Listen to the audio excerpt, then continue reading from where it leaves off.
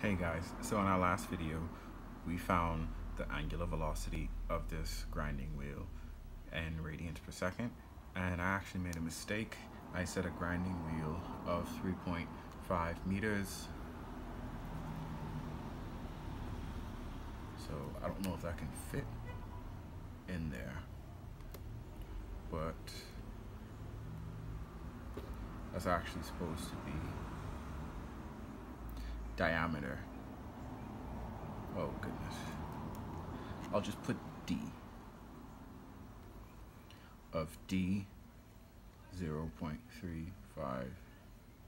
meters. That's actually supposed to be diameter. So this 0.35 isn't the actual diameter. The diameter would then just be 0 0.175 meters.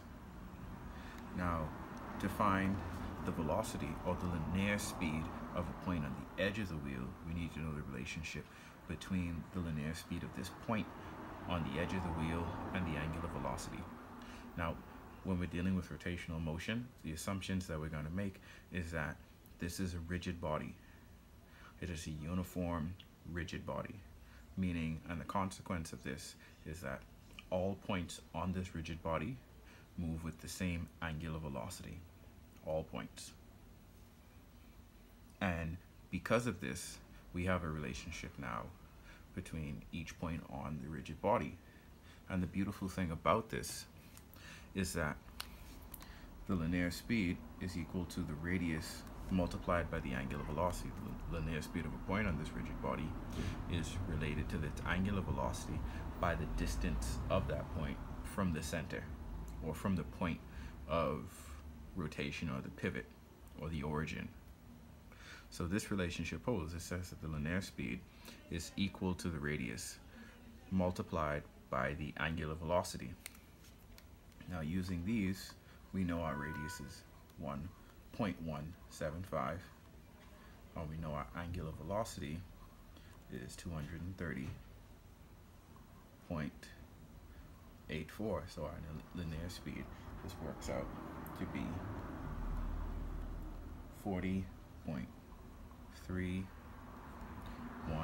meters per second. So again this is just an elementary problem as we continue on with our problems in rotational motion. We'll go into more, I guess we'll start to see the kinematics at work. We'll start dealing with rotating points where you have uniform angular acceleration and we're going to deal with the point where the velocity is constantly changing or it's increasing uniformly. And if I said uniform acceleration, I mean constant acceleration is what we're really going to be looking at. So we're going to have a whole host of kinematics formulas but adjusted for rotational motion. And if you remember what the kinematics formulas look like from your translational motion, it's going to be a, a literal change of variable, but I'll show you in my next video.